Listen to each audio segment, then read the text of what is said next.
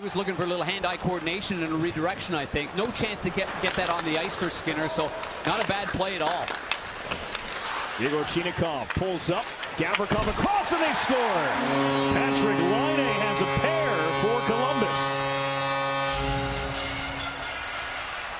Right to center ice, and they'll drop the puck, but a, a, good play to get into the zone right there by the Columbus Blue Jackets. And once this setup gets made, Gavrikov makes an excellent pass, and it actually goes through the arm.